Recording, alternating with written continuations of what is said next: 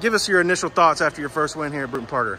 Man, uh, to come in and see an environment, you know, that we saw tonight, I mean, that's a big shout out to our fans. We had a lot of people, a lot of excitement. Everybody was jumping and going crazy.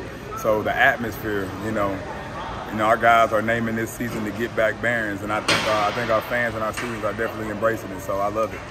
All right, you had uh, three players in double digits, and Lance Smith leading with 19 points. What uh, worked for you guys tonight?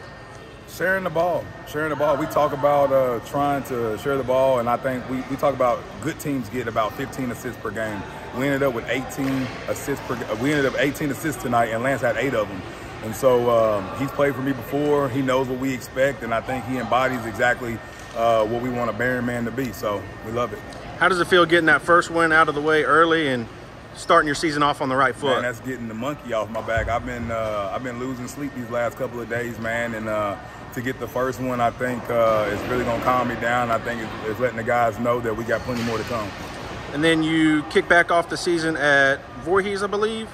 Yeah, yeah, yes, we're, sir. At, we're at Voorhees on Tuesday. Uh, be another tough opponent. Uh, we've had a chance to watch them. They played two games already. Well coached team with Coach Huff. Uh, but I think our guys getting off the ground with a win, I think we're going to be ready to go. Sweet. Thank you, Coach. Thank you.